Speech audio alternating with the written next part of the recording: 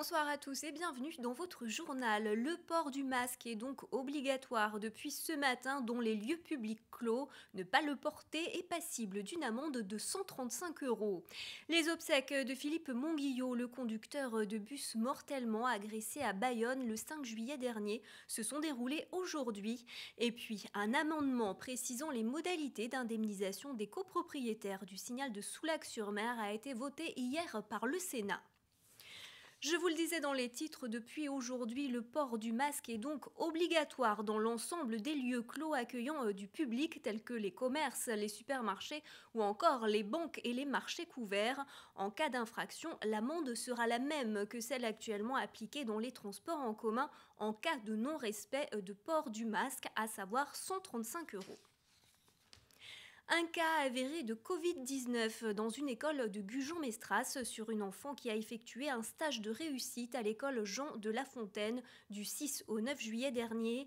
Les enfants, tout comme les enseignants et le personnel scolaire ayant fréquenté l'école, ont été testés cet après-midi à l'hôpital d'Arcachon. Je vous le disais dans les titres, les obsèques de Philippe Monguillot, le conducteur de bus agressé à Bayonne le 5 juillet dernier et décédé cinq jours plus tard, se sont déroulées cet après-midi. Plus de 800 personnes étaient venues lui rendre hommage. Ces obsèques se sont déroulées en présence de Marlène Schiappa, la ministre chargée de la citoyenneté. À noter que l'ensemble du réseau de bus Chronoplus était à l'arrêt ce lundi, je cite, pour rendre hommage à leurs collègues décédés et témoigner leur soutien à son épouse et à ses filles. Comme chaque jour en collaboration avec Sud-Ouest, nous faisons le point sur l'actualité d'un département. Direction aujourd'hui la Dordogne avec Victoria Garmier. Cette semaine en Dordogne, ce qui marque l'actualité, c'est le lancement de la saison touristique. Touristes français et étrangers étaient notamment au rendez-vous pour le week-end du 14 juillet, où il y a eu du monde en Périgord et notamment en Sarladais. Difficile toutefois de savoir si la saison peut être sauvée pour l'instant, alors que les hôteliers et les restaurateurs déplorent toujours une baisse de leur chiffre d'affaires. À compter du lundi 20 juillet, touristes et locaux seront logés à la même enseigne. Le port du masque devient obligatoire dans les lieux publics clos. Dès vendredi, les commerçants du centre-ville de Périgueux s'activaient pour afficher ces nouvelles dispositions sur leurs vitrines. À la coquille, dans le Périgord vert, on craint une relance de l'épidémie dans une maison de retraite. Trois cas ont été confirmés chez les résidents et six autres cas sont des cas équivoques, que l'agence régionale préfère considérer comme des cas positifs. L'établissement a été déclaré comme foyer de l'épidémie depuis le 10 juillet. La semaine a aussi été marquée par la politique. En effet, la nouvelle maire socialiste Delphine Labaisse a mis en œuvre sa première promesse de campagne. Le stationnement gratuit a été voté. Il devrait être limité à 3 heures et effectif d'ici la Toussaint. L'objectif principal, redynamiser le centre-ville. Enfin, a eu lieu cette semaine la réélection du président de l'agglomération du Grand Périgueux, Jacques Ozou. Parmi les plus gros dossiers, la mise en œuvre d'une navette ferroviaire dans la vallée de l'île sur l'axe Bordeaux-Périgueux. L'enjeu majeur est de dynamiser le territoire et de pousser les gens à utiliser le train plutôt que leur voiture dans cette intercommunalité qui compte près de 100 000 habitants. Les copropriétaires de l'immeuble Le Signal à Soulac-sur-Mer verraient-ils enfin le bout du tunnel? Souvenez-vous, en 2014, ils avaient été évacués suite à un arrêté préfectoral, l'immeuble menaçant de s'effondrer en raison d'un fort recul du trait de côte.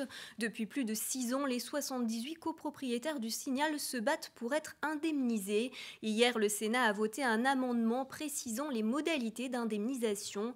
Le texte prévoit une compensation à hauteur de 70% de la valeur estimée, c'est-à-dire la valeur du bien sur le marché. Le versement de l'indemnité doit être demandé avant le 31 décembre 2021. Comme chaque été, l'établissement français du sang lance un appel aux dons. Les besoins en sang restent tout aussi importants l'été qu'au cours du reste de l'année et pourtant, pendant la période estivale, les dons sont moins nombreux. En Nouvelle-Aquitaine, près de 1000 dons par jour sont nécessaires pour soigner les malades. Des collectes sont donc organisées tout l'été. Vous trouverez les dates et les lieux sur le site internet de l'EFS. Pour donner son sang, il faut avoir entre 18 et 70 ans, ne présenter aucune contre-indication, aucun symptômes grippal et ne pas avoir été en contact avec un cas confirmé de Covid-19 au cours des 15 derniers jours. C'est un défi un peu fou que s'est lancé un baïonnais, celui de traverser l'Atlantique à la rame sans escale ni assistance, alors qu'il est néophyte en la matière.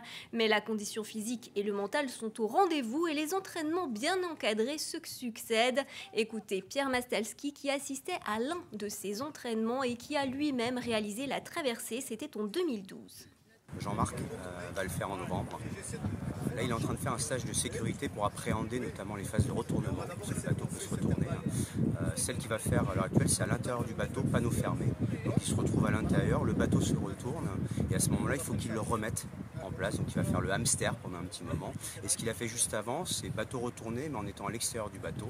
Et là, c'est presque classique, c'est des bouts de retournement qui sont de chaque côté, bâbord et tribord du bateau, pour procéder au retournement comme un dessalage classique. C'est la fin de cette édition. Très belle soirée à tous sur TV7.